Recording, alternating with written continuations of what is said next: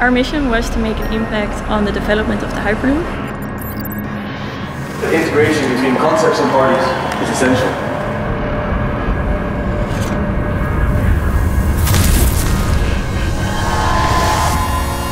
Our year started with the competition announcement from SpaceX being top speed wins.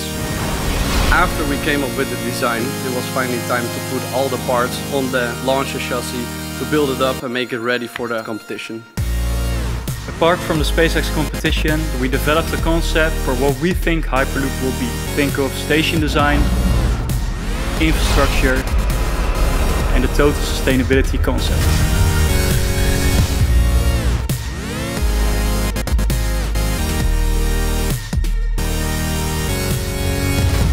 Two nights before the competition, we broke down our last spare onboard computer. We thought it was all over and we couldn't compete anymore. But then by a miracle we found an extra one. It worked and then we were able to pass all the big tests in just one afternoon and all the SpaceX engineers were amazed. We worked in ships through the night. I never experienced something like this.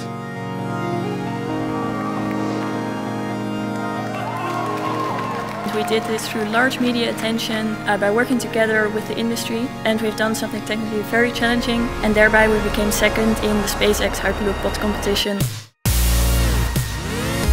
Having so many disciplines in one team is very challenging at start, but during the year you really develop team dynamics. During high-stakes situations you really need to have that communication between your team members and I think that was really an essential skill to learn. We have worked with over 90 industry partners this year. For us, it really felt like an exchange of knowledge, where they helped us discover the best practices, and I hope we, as a new generation of engineers, inspire them